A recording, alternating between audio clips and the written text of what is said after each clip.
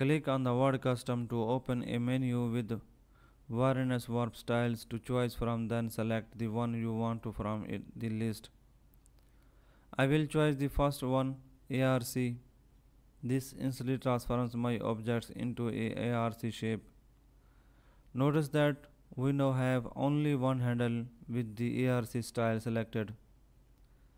The handle appears at the top center of the grid, but it uh, may appears in other location depending on which warp styles. You will select it. This single handle controls the amount of bend in the shape. I will click on the handle and drag it to downward which reduce the amount of bend. Dragging the handles upward would increase it. Thanks so much for watching.